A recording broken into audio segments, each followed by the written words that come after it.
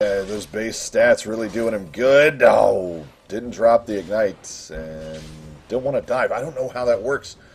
What if we get a... I guess whoever goes down first, whoever gets the first blood call is the win. So the game will take care of that for us. Ignite goes down and Hotshot's in trouble.